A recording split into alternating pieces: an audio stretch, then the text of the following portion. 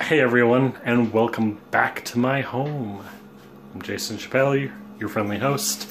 Um, I just received yet another Blue Apron package, so I thought I would unbox it with you guys. Um, I have replaced the light in my kitchen with a daylight light, so it looks a little bright in here.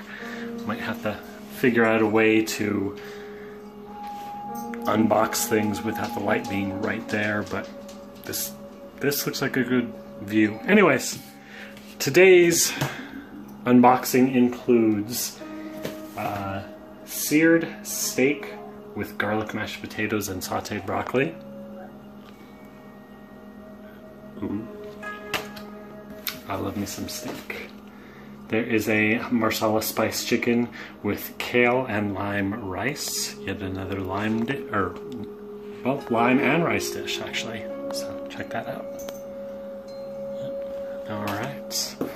And finally, we have seared barramundi with collard greens for something and shagret shallot agrodolce. So take a look at that one. So that's the second word is the word I was having trouble with. So yeah, I don't know. Anyways, um,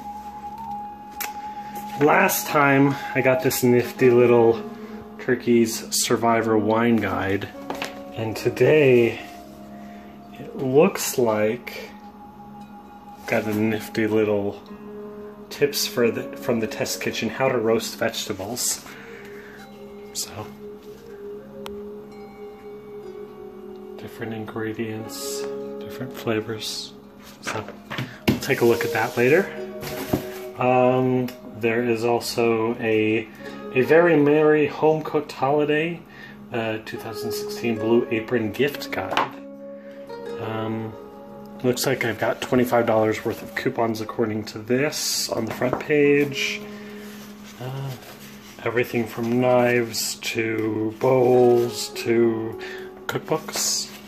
Um, oh, wine set for $124.99 includes four glasses, a corkscrew, and a month subscription to the wine club which is also part of the Blue Apron. So maybe it's got some Blue Aprony wine related stuff. Anyways, um, different things, different catalogs. So I don't know if that even saw the picture. Anyways, nifty little refrigeration bag like last time.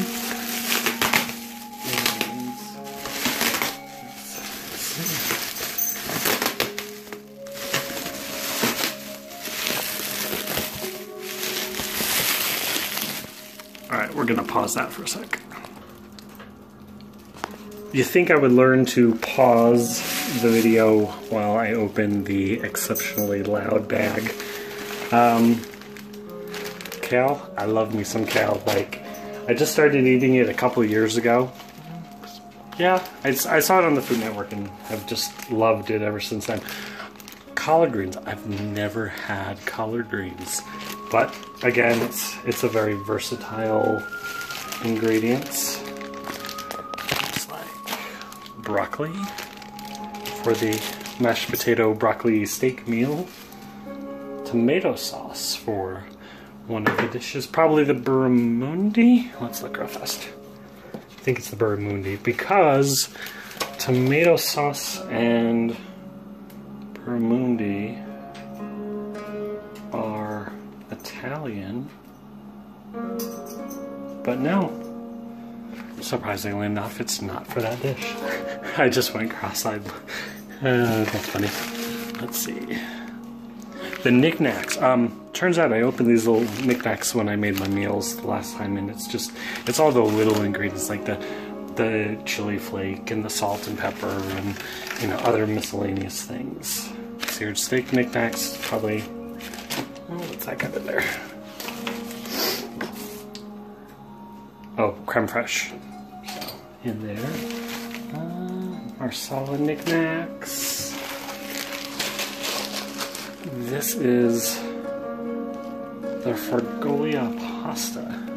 So, not like anything I've ever seen before. So, should be interesting to try. Um, it's funny that these meals, they're even though it says that they're for serving size of two, I tend to eat a lot to begin with. So for me, it's like the perfect one meal. So it is what it is. Um, lemon and lime. Potato. And then, of course, the nifty little proteins, a little happy cooking separator, the ice pack,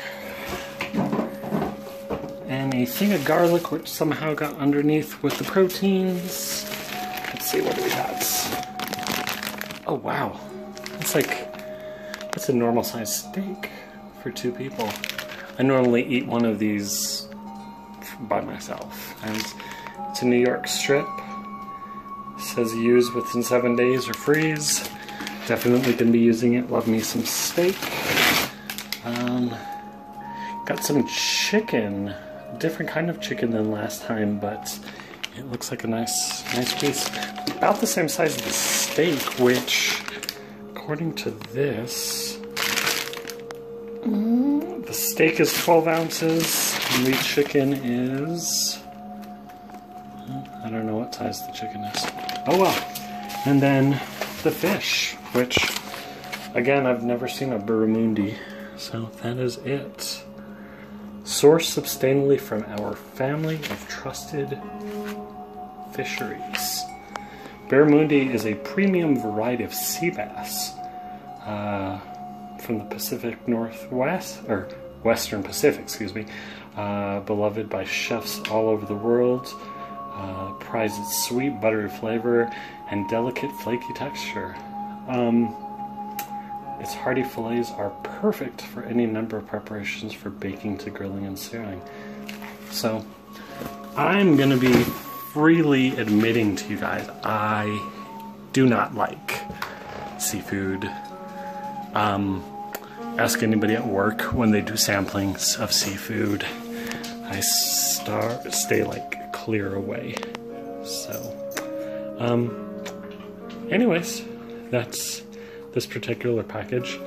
I'll get it bo- or unboxed, you know, take a couple pictures like I did last time and put it in the fridge and we'll go from there. Catch you in a bit.